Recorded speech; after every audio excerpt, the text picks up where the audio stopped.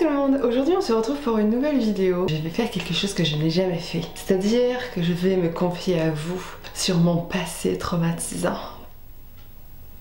Faux Oui, j'ai repris le faux de Norman. Excusez-moi, il est tellement emblématique que j'avais pas le choix. Non, sérieusement, aujourd'hui, je vais faire une vidéo que j'ai trouvé assez sympa parce que j'ai vu beaucoup d'anecdotes sur euh, chez Sephora, anecdotes sur euh, je sais pas quoi. Sur... Et du coup, euh, ça m'a donné l'idée, ça m'a donné idée. En fait, ça m'a donné l'idée de faire la même chose avec euh, tout simplement mon passé de coiffeuse chez De Sange. Si vous ne me connaissez pas, déjà bonjour. Je suis Justine, alias Ju Beauty Fit. Enchantée Et si vous vous retrouvez sur ma chaîne, bah c'est bien, c'est super. Ici on n'utilise que des produits vegan et cruelty free. Mais bon aujourd'hui on s'en fout parce que... euh, on va pas en parler. Mais bon, abonne-toi si tu veux voir les prochaines vidéos qui vont arriver. Allez c'est parti Comme je le disais, je vais faire cette vidéo où je vais raconter trois anecdotes que j'ai vécues quand j'étais coiffeuse chez De Sange.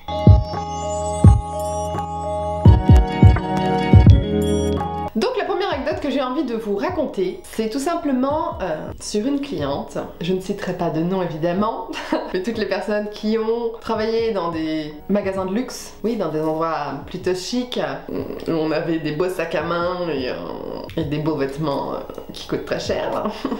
Bah voyez, chez De Sange, on fait partie du luxe. Bon, même si on n'est pas payé comme si on était riche, mais bref, c'est pas le sujet. bah en fait, euh, il y avait une certaine cliente que j'apprécie pas forcément. on va l'appeler euh, Madame. Donc en fait, on avait certains protocoles et tout ça, enfin bref. On respectait énormément les clientes parce que c'est fait partie du travail du commerce. Voilà, si on a envie d'être, euh, comment dire, d'être un bon commerçant, le client est roi, tout ça, tout ça. Même si moi je suis un petit peu rebelle et que j'aime pas trop forcément ça, mais bon, bref. Du coup, je me suis retrouvée une fois face à une cliente qui venait très souvent. Euh, venait toujours faire son brushing.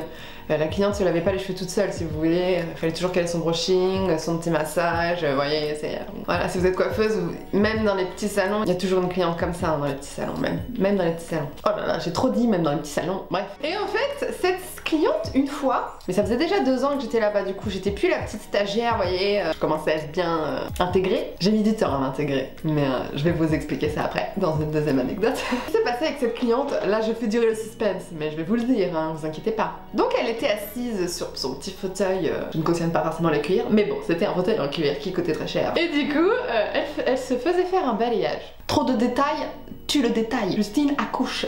Elle discutait avec, euh, avec la coloriste, parce que chez 200, il y a un côté coloriste permanentiste, euh, bref, et un côté coiffage, enfin coiffeur qui lui faisait son balayage. Et il parlait d'un truc, de sport, enfin bref. Et, euh, du coup, euh, la coloriste, euh, donc moi je passais, parce que c'était du, côté couleur, donc en fait c'est là qu'il y avait les bacs, où on pouvait rincer les couleurs, faire les shampoings, etc. Et du coup je travaillais quoi. Et à un moment, elle parle de sport, et du coup, la coloriste dit, mais Justine, justement, elle fait du sport, comment dire, dans une salle de sport, à, telle salle de sport qui est très connue, bref. Le logo, c'est un fruit bleu, voilà, comme ça. Je ne cite pas de marque, mais vous voyez de quoi je Et du coup, elle disait, bah ouais, elle fait du sport et tout, euh, voilà, elle y va tous les jours, machin et tout, bon bref.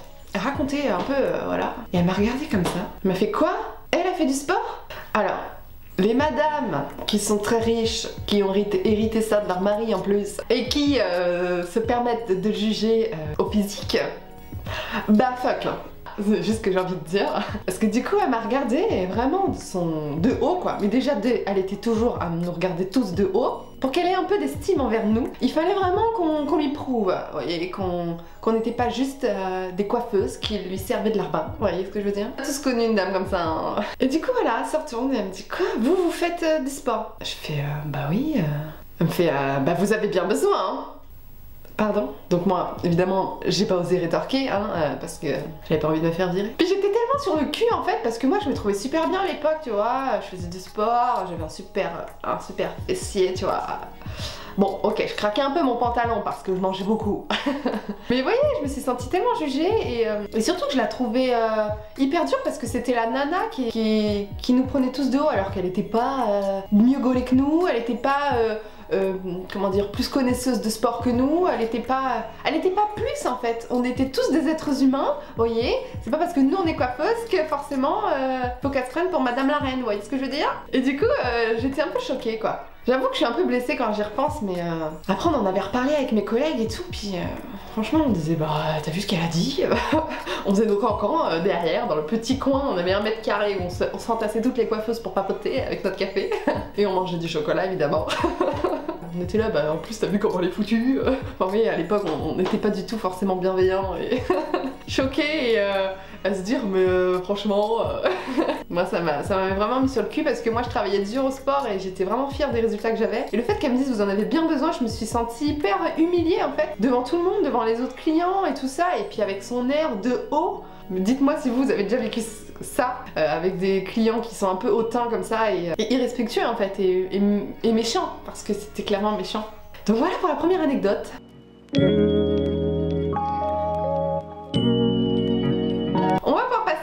Deuxième anecdote. Et cette fois-ci, euh, comme je vous l'ai dit un petit peu dans, dans la première partie de cette euh, vidéo, c'est par rapport à l'accueil que j'ai eu dans mon salon. Bon, aujourd'hui c'est terminé, je veux dire, euh, je m'entends super bien avec mes ex-collègues et tout ça, enfin c'est vraiment du passé et, et on va dire on a enterré l'âge de guerre. Mais on va dire que j'ai pas eu forcément un bon accueil, euh, je sais pas pourquoi, c'était pas très très sympa non plus au début. L'intégration. Parlons de l'intégration quand on arrive dans un, dans un milieu où il y a que des femmes. Tu vois mon regard Donc en fait, ce qui s'est passé, c'est que moi j'avais 17 ans quand je suis rentrée euh, dans ce salon. Donc j'ai passé un entretien et tout. Enfin, moi j'étais, euh, je m'étais super bien apprêtée et tout. C'était euh, ma première relation avec le commerce et tout ça. Donc j'avais tout donné quoi. Vraiment, je voulais impressionner. Je me maquillais tous les jours. Enfin, j'étais à fond dans le make-up à l'époque et tout. Qu'on me choisisse moi déjà en tant qu'employé et en tant que stagiaire pour faire mon BP coiffure. Et je me suis dit, mais de toute façon j'ai aucune chance de rentrer chez 200. J'ai vraiment été en genre oh c'est mort. Et quand ils m'ont donné l'entretien, je me suis dit putain, faut que je, faut que je sois à la hauteur quoi, faut que je représente le luxe et tout ça. Donc je m'étais bien sapée et tout pour ma journée d'essai, enfin bref. La journée d'essai se passe, je suis prise et tout ça. Et euh, donc je commence mon apprentissage. Et pendant, euh, je sais pas, je sais pas combien de temps ça a mis, mais ça a duré hyper longtemps. Je dirais la première année sûre où c'était vraiment dur quoi. Parce que euh, la première année, j'ai vraiment galéré à m'intégrer. Bah, on va dire que c'était des collègues qui se connaissaient toutes entre elles, qui avaient le patron comme garçon, plus un de nos collègues. Donc, je m'entendais super bien avec les garçons, évidemment, parce que souvent c'est entre filles qu'il y a jalousie et tout ça. Et on va dire qu'il y a eu une sorte de jalousie parce que fallait faire un choix entre la BP coiffure, euh, la BP et la CAP. Et du coup, euh, on va dire que j'ai été choisie en tant que BP pour plein de raisons, enfin bref. Et du coup, on va dire que la CAP a failli pas se faire prendre et tout ça, enfin bref. Il y a eu des, des préférences, si je peux dire ça comme ça, mais moi j'étais pas au courant. Moi je suis rentrée, euh, j'ai fait ma vie, j'ai tout tout, tout donner. Enfin, moi j'ai été mis dans le truc alors que j'étais pas censée être mise dedans. Enfin bref, je suis pas sûre que ce soit clair ce que je suis en train d'expliquer. Dites-moi si vous avez compris dans les commentaires.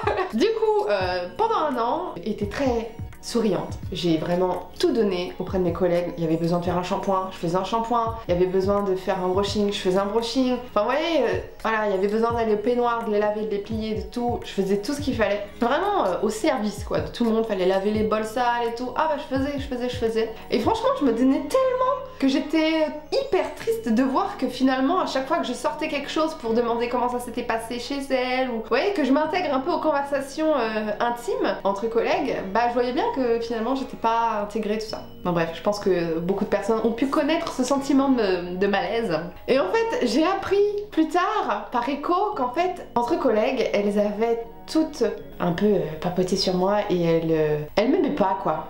Elle m'aimait pas, elle me faisait un peu vivre un, petit calvaire. hein. Moi j'ai vécu ça un peu comme un calvaire. Bon maintenant aujourd'hui comme j'ai dit je l'ai pardonné. Mais j'ai vraiment... euh, C'était chaud quoi. Vu que j'étais trop joyeuse, apparemment j'étais euh, j'étais chiante. hein. J'étais chiante parce que je souriais trop. Parce que je disais trop bonjour, bonjour. J'allais voir tous les clients, je disais bonjour. Je passais à chaque fois que j'arrivais au salon, moi je commence à 10h, d'autres collègues commencent à 9h. Je disais bonjour à tout le monde mais très aigu vous voyez parce que moi je suis très euh, comme ça, euh, très aiguë et niaise. Je pense que vous l'avez remarqué que je suis un peu niaise. Avec tout le monde et au début de la vidéo je suis très sourire. je suis quelqu'un de très solaire. Et en fait ça saoulait énormément mes, mes collègues. Et j'ai appris, hein, toutes mes revenus à l'oreille. Et au final, voilà, l'intégration a été dure. Finalement, j'ai réussi au bout de quelques années, mais quelques années, peu de temps avant que je parte, je crois que c'était peut-être un an à six mois avant que je parte euh, à être intégrée. Et du coup, bah, ils elles se sont excusées, il y en a deux, deux qui se sont excusées euh, sur toutes mes collègues et euh, dire bah écoute, on n'a pas été cool avec toi au début, vraiment désolé, on te connaissait pas et puis il y avait un peu des jalousies et tout ça. Donc j'avais apprécié, franchement j'avais apprécié, on s'excuse. Donc voilà, ça c'était la deuxième anecdote où parfois on peut en vouloir à quelqu'un qu'il est là alors que c'est pas de sa faute. Hein. et du coup, c'est finalement le patron qui, comment dire, qui faisait beaucoup d'éloges sur moi, qui disait regardez Justine, elle se maquille, vous devriez plutôt vous maquiller aussi. Et regardez Justine, euh, elle est toujours bien et tout, euh, voilà. Bon, au fur et à mesure, ça s'est dégradé si vous voulez. Je me suis moins maquillée, je me suis moins. En fait, j'ai arrêté de, vouloir impressionner, peut-être pour, peut pour pouvoir m'intégrer, peut-être parce que ça allait pas trop bien non plus à cette époque-là, mais, mais en tout cas, on va dire que je me suis mis au même niveau que, mes autres collègues, et c'est-à-dire que je n'ai plus impressionné euh, mon patron, plus autant, on va dire. Enfin bon c'est comme ça. Et du coup, bah, j'ai fini par être intégrée et, euh, les collègues, les copines, si je peux dire ça comme ça, euh, ont fini par m'accepter. Certaines se sont excusées, d'autres non. C'est des choses qui peuvent arriver dans des salons de coiffure par exemple, surtout quand dans des milieux où il y a beaucoup de filles et tout ça, beaucoup de jalousie. Et ça, c'est un truc que j'aimais pas trop en coiffure et c'est pour ça que euh, j'ai plus trop envie de retravailler dans des salons. C'est toujours pia pia pia pia. enfin bref. Voilà pour la deuxième anecdote. Passons à la troisième anecdote. Anecdote, il va s'agir d'hommes. Alors, je suis une femme et euh, quand on est une femme, si vous êtes un homme et que vous regardez ça, vous allez sûrement euh, dire Ah mais les filles toujours parce que c'est une nana, ça vient tout de suite, euh, les hommes c'est comme tous comme ça. Soyez féministes les mecs soutenez-nous parce qu'on vit pas des choses faciles. Vous non plus, mais nous non plus.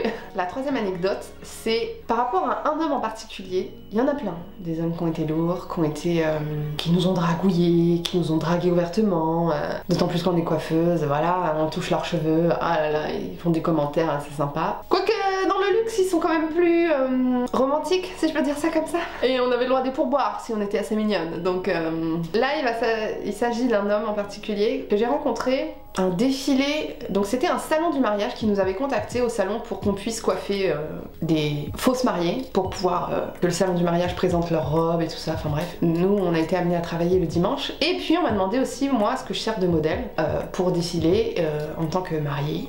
J'ai porté une robe de mariée dans ma vie Et du coup, on m'a coiffé, tout ça. Et du coup, j'ai rencontré euh, le mec avec qui j'ai défilé. Donc c'est un mec, euh, euh, la première impression, j'ai trouvé super mignon. bon, il était plus vieux que moi, moi j'avais 18 ans, toute jeune, vous voyez. J'avais 18 ans et lui il en avait 40. Et mais bon, il était quand même bien entretenu, le mec. il faisait du sport, vous voyez, les yeux bleus, un peu cheveux grisonnants. Enfin, voilà, il avait un peu la classe et puis il était hyper charmeur. Donc, donc jusque là, bonne impression. Je me dis, bah écoute, on va faire un beau, un beau couple, voilà, pour défiler. Donc je jouais super bien mon rôle et tout. Et en fait, euh, en plus j'étais venue avec mon mec à l'époque parce que j'avais un mec à l'époque, mon premier mec. donc il fallait pas que trop, que trop de monde me drague, voyez. et du coup il m'a regardé défiler avec ce mec et tout ça, donc un petit peu jaloux, mais bon bref, après j'ai retourné avec lui donc euh, ça, a été. Et puis ce mec là, euh, je l'avais jamais vu au salon. Donc il paraît que c'était un client, c'était un pote à je sais pas qui, enfin bref. Et du coup après je le revois au salon, il demande à ce que ce soit moi qui le coiffe. donc je le coiffe. Et, et pendant que je le coiffe, non mais le malaise Pendant que je le coiffe, donc déjà je lui fais son shampoing, il me demande un massage, mais vous voyez, toujours dans le, dans le charme, vous voyez, toujours dans la drague. Euh, il jouait de ses yeux séducteurs, vous voyez ce que je veux dire? Et je vais pas mentir, hein, j'étais pas indifférente. Euh, à l'époque, euh, même si j'avais un, copain, vous voyez, il y a toujours ce côté où on est un peu touché, vous voyez ce que je veux dire? Mais ça, ça me touchait à, une certaine limite. C'est-à-dire que ce mec-là, après, vous voyez, c'était trop. C'est-à-dire que, bah, une fois il est venu, je l'ai coiffé, voilà, c'était hyper simple, ses cheveux en plus, ce qu'il avait à faire, enfin. Donc je le coiffe et pendant que je le coiffais, vous voyez, il s'est installé comme ça dans son fauteuil et puis il m'a regardé. Mais limite, euh, comme ça, vous voyez. je sais pas si je le fais bien. Mais ouais, il m'a regardé pendant tout le temps que je coiffais. Et puis il me disait des... Euh, franchement, j'ai honte J'ai honte en le disant. Je devrais pas avoir honte. Il me regardait et puis il me disait... Euh, je pense que c'est parce que je pourrais jamais faire ça. Justine.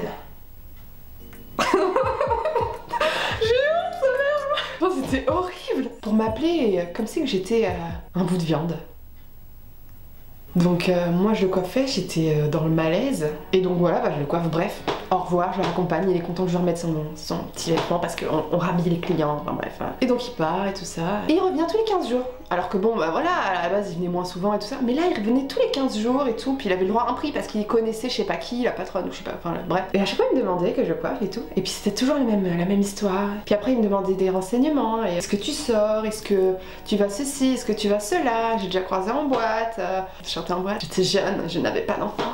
Et surtout, je buvais beaucoup trop d'alcool. Mais voyez, c'est ce genre de lourd qui vient après tout le temps insister. Et à chaque fois que je le voyais, j'étais dans le sens. Il y avait toujours une. Une pression qui, venait à chaque fois que je le voyais et que je voyais qu'il venait. Enfin bref, euh, il venait des fois à l'improviste. euh, j'étais appelée pendant le, temps du repas. Est-ce que tu peux coiffer un tel? Il est venu et tout. Et du coup, j'étais toujours prise un peu d'une angoisse. Je sais pas si vous avez déjà vécu ça, les filles qui me regardent. De ça, c'est un peu un harcèlement, vous voyez ce que je veux dire? C'est euh, toujours le, lourd qui revient, quoi. Qui vient, qui revient, qui revient, qui revient. Et ça a été très lent cette histoire, ça a été très lent et, j'ai pas forcément envie de- de- d'en parler plus. Si vraiment, vraiment vous êtes un mec, faites jamais ça, quoi. Vous voyez une coiffeuse qui vous plaît ou je sais pas quoi, mais ne venez pas euh, tout le temps insister euh, pour avoir cette personne-là et à l'observer comme ça d'un air pervers et malsain et la questionner comme si vous étiez flic, détective, euh, ça se fait pas quoi. Puis c'était trop malsain quoi. Donc faites jamais ça. Allez la voir directement, dites-lui voilà, je vous trouve mignonne, est-ce que vous êtes célibataire? Voilà. Donc voilà pour euh, cette dernière anecdote de relou. Voilà, j'espère que cette vidéo vous a plu. N'hésitez pas à me dire si ce genre de vidéo vous a plu ou je fais que blablater et raconter ma life.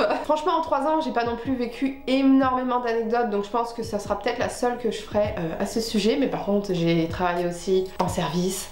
Euh, et puis ça, j'aurais des choses à vous, expliquer quand j'étais serveuse, et pourtant j'ai pas été serveuse longtemps. Mais j'aurais des choses à vous expliquer aussi. Donc dites-moi si ça vous intéresse dans les commentaires des anecdotes de serveuse. Et voilà, je pense aussi pourquoi pas faire une vidéo euh, les points forts et les points faibles à travailler euh, dans un grand salon. Moi en tout cas, ça m'a fait super plaisir de faire cette vidéo. J'espère que vous serez nombreux à me dire si ça vous a plu. En attendant, je vous fais de gros bisous. Je vous dis à la prochaine dans une prochaine vidéo.